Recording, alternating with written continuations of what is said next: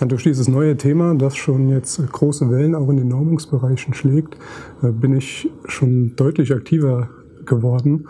Und für mich ist es einfach wichtig, das jetzt auch auf eine internationale Ebene zu heben.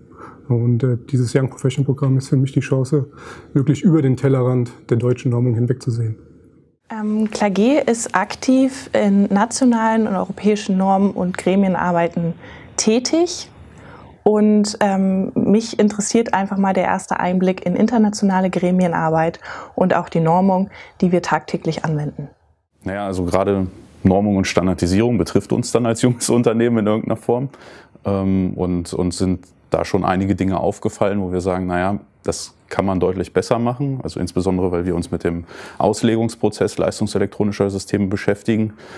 Und äh, da greifen Normen direkt drauf zu oder das basiert auf Normung und Standardisierung und da sind viele Dinge, die, man, die wir erleichtern möchten.